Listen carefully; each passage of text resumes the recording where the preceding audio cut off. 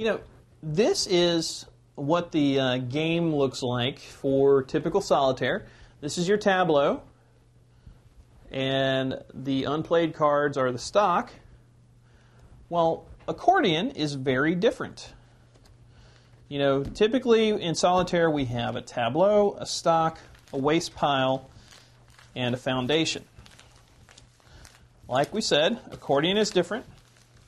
Just do a quick shuffle there. And look at this. When you start a hand of accordion,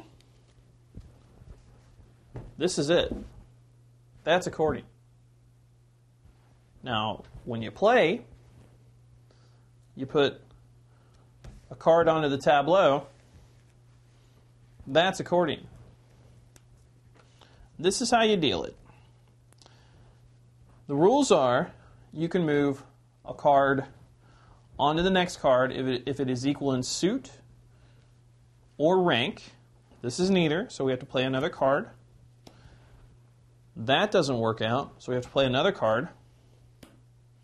Now, again, these cards are not similar or same in suit or rank, so I must play another. But there's something interesting. If, say, we had a heart here, and the card that came out third was a heart, I could jump. So you can play like that, or you can play like that. And that's for suits or rank. And that is accordion.